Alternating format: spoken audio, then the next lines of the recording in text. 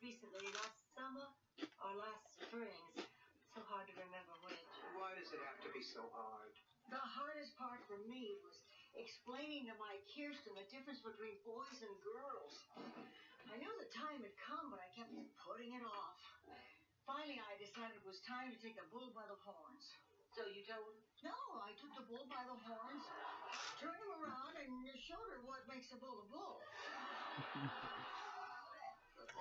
You are kidding, No, that's how my mother taught me. Honey, didn't that give you a false impression about what a man would look like? It sure did. Can you imagine my surprise on my wedding night, Charlie? that relief. Boy, that bull would have been jealous. Rose, quite frankly, I don't get it. What is this hold that Buzz has over you? I wonder exactly what she's going through, Dorothy. First love can be very powerful. I felt the same way about Haywood Boyle, the star pitcher on our high school baseball team. Uh, an amazing athlete. That boy had exceptional control.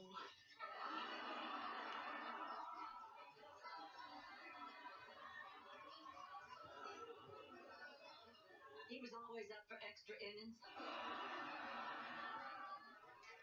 And his delivery, oh,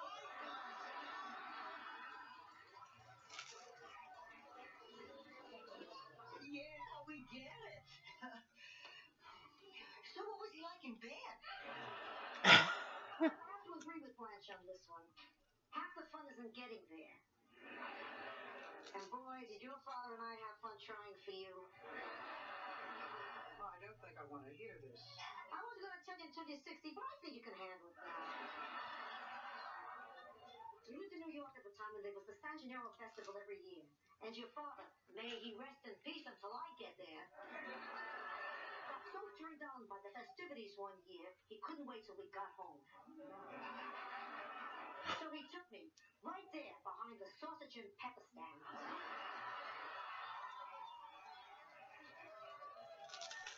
Mm, Hey, we were behind the garbage cans. It's not like we were in front of everybody. I didn't relate to the festivities part, Sophia. All our children were conceived on special St. Olaf holidays. Adam was conceived on the day of the Princess Pig when they had the pig crowning. Janella was conceived on Hay Day. That's the day we St. Olafians celebrate hay. Rose, do you think you could wrap this up before Rebecca goes into labor? And there was the day of the wheat when everybody came to town dressed as sandwiches. Charlie and I forgot to put cheese between us, and before I knew it, there was Kirsten.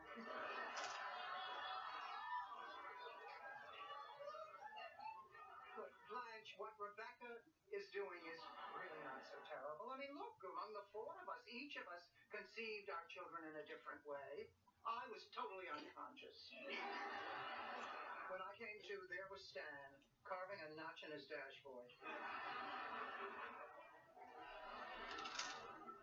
I never built that unconscious story. I swear, he must have slipped me something. Apparently.